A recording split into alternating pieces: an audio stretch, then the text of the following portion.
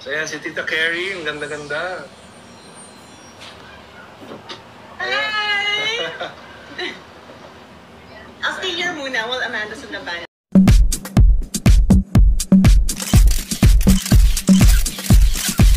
Amanda at Mayor Zamora nagkulitan sa kanilang Kumu Live. Ika nga ng mga netizen, magka-lookalike umano ang mag-ama.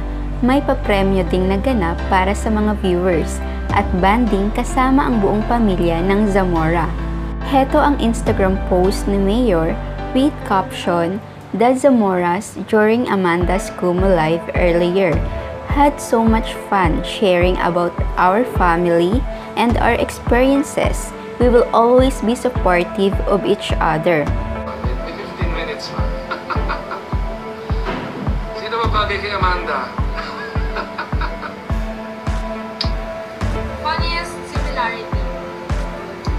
siya, yeah. Music. Master, get picture. Hello.